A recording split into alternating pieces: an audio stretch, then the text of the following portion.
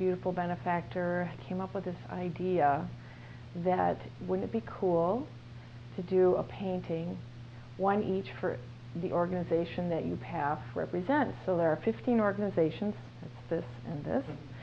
Um, and then the, the 16th painting would be uh, one that represented UPAF in general. So for example, uh, Milwaukee Symphony Orchestra would be one, Renaissance Theater Works would be another, and so on. Um, and the, the benefactor whose idea this was had come into my studio and saw my 30 paintings that were hanging right there. And I think that's what inspired the idea. Well, uh, first of all, um, the photographs that I am using um, have been provided to me by the organizations. Um, and so I've, I've been given an array of photos to choose from. So I've been looking at those and examining them closely and deciding what's going to make a good painting, but what also will say the organization in one little 12 by 12 canvas.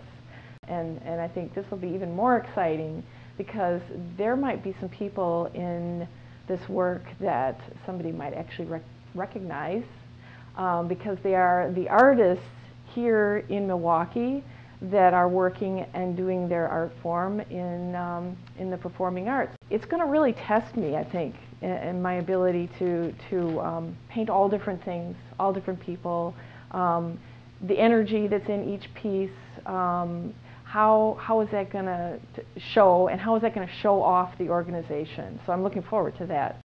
At the end of the 16 days, besides collapsing, um, no, at the end of the 16 days, I I'm hoping that this project ends up um, becoming a testament to the fact that artists are everywhere. Artists are all around us.